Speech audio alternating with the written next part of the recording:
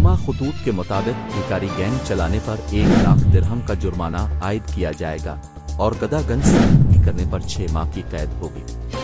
मजीद बरान, online भिकारियों के खिलाफ चौकस रहने के लिए एक एहतियात जारी की गई है। ताज़ा तरीन खबरों से बाखबर रहने के लिए सब्सक्राइब करें और घंटी को दबाएँ।